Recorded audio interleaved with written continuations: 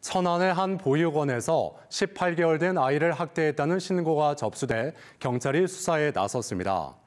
천안 동남경찰서는 최근 보육원에서 생활지도원이 아이를 뜨거운 물에 넣은 뒤 방치해 화상을 입었다는 신고를 받고 40대 생활지도원 등 2명을 입건해 고의성 여부 등을 조사하고 있습니다.